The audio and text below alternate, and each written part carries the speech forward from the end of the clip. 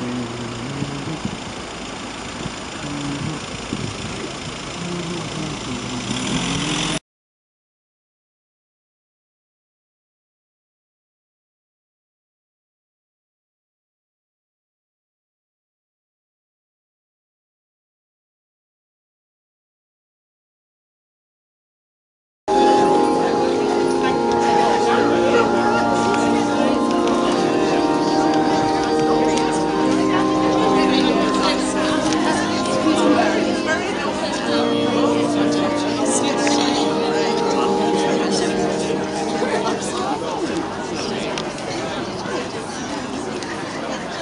It was on a day just like today.